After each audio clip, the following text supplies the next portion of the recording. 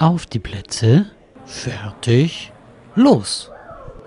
Oder besser, Vorhang auf für die neue Attraktion im Sea Life Konstanz. Zehn Eselspinguine haben ab sofort hier am Bodensee ihr neues Zuhause. Zehn Eselspinguine haben wir bekommen. Die ersten in einem deutschen Sea Life Center, die ersten Pinguine überhaupt und die ersten Eselspinguine in der ganzen Firma. Ähm, und für uns hier vor Ort die ersten Tiere, die nicht ausschließlich im Wasser sind. Für den größten Umbau im Konstanzer Sea Life seit der Eröffnung hat man sich mächtig ins Zeug gelegt. Der neue Bereich wurde so gebaut, dass sich die Pinguine wohlfühlen. Alles, was sie in der Antarktis zum Leben brauchen, bekommen die Tiere auch hier geboten. Temperatur, Sauberkeit und Nahrung sind genau auf die Bedürfnisse abgestimmt. Und dass sich die Pinguine wohlfühlen, merkt wirklich jedes Kind. Leuchtende Kinderaugen bestaunen die Action hinter der Scheibe. Und das aus jedem Blickwinkel.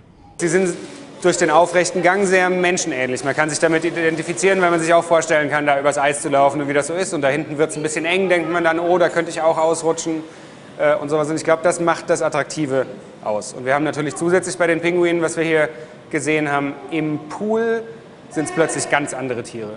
Die können fliegen unter Wasser. Das ist ganz faszinierend. Und die Flügel sind umgebildet, sie können in der Luft nicht mehr fliegen, aber im Wasser schon. Es ist die gleiche Bewegung und es sieht wirklich auch aus wie Fliegen. Sie springen dabei so ein bisschen aus dem Wasser, wenn sie es besonders eilig haben, einfach damit sie den Wasserwiderstand nicht haben. Ähm, das sieht fast aus wie bei einem Delfin.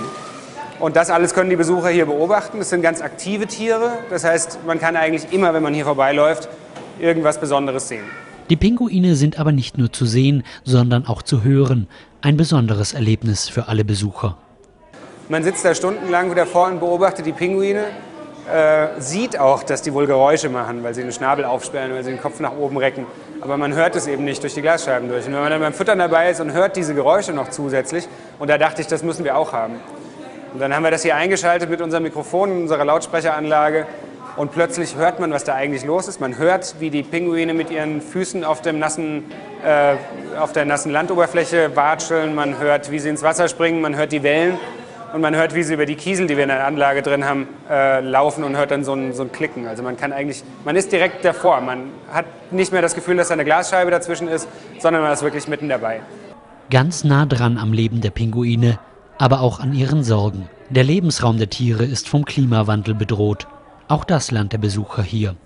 Im Sea Life Konstanz kann man hautnah erleben, warum der Umweltschutz immer wichtiger wird. Und ganz nebenbei taucht man ein in die faszinierende Welt der Eselspinguine.